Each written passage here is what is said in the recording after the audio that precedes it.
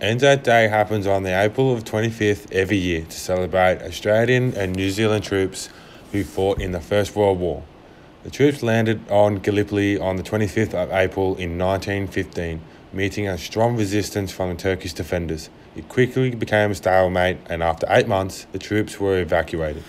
By then, Australia had already suffered a heavy loss during the war, and 25th of April soon became a day which is remembered for those who sacrificed their lives in the war.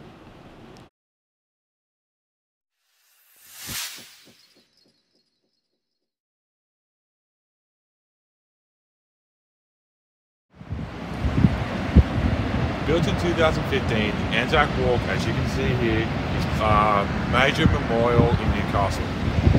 It's our 100th anniversary commemorate the troops who went to Gallipoli in 1915.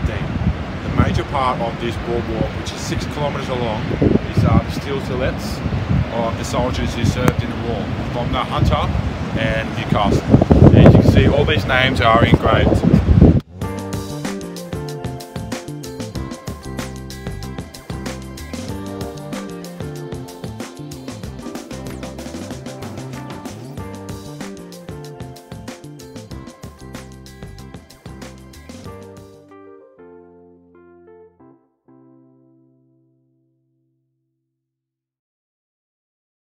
This is the legacy tree at Sibley Park, which was planted to honour the soldiers.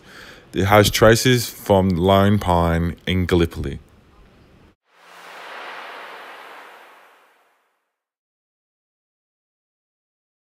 There is a dawn service in most towns and cities that happens as early as 4.30 in the morning and varying formats can happen, but the following ritual is believed to be the main one. Assembly, bugle calls, two minute silence, a hymn, short address, flow of tributes, second hymn, and finishing with a bugle call. Later in the day, there is an Anzac Day march. Traditionally, it was for veterans who marched through public colonna, lost friends, and expressed their comradeship. Later years, it was welcome to have family and relatives to march for their long lost relatives, which can include young and old.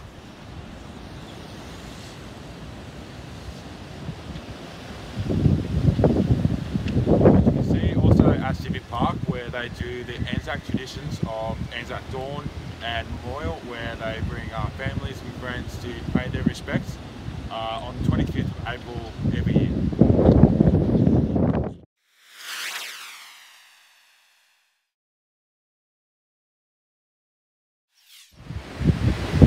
Thank you for watching. The flame will never run out, lest we forget, and